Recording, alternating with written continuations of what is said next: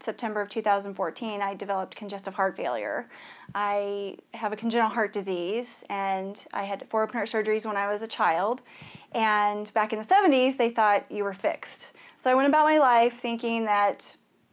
I was fixed and I'm fine, that living with heart palpitations and shortness of breath was just a way of life. I did 5Ks and mud runs and did the Avon 60 day mile walk, you know, 60 miles in three days, and just thinking that life was normal. So I was in Alaska when I developed congestive heart failure, and I stopped in Seattle to visit one of my best friends from high school. And she took me to the emergency room, and turns out one of my doctors had said I wouldn't have made it home. So over the years, I've learned that miracles do happen and to have faith and trust that there is a higher power at work here and they're always in you know it's always for your best and highest good so when i was in the hospital for a total of four weeks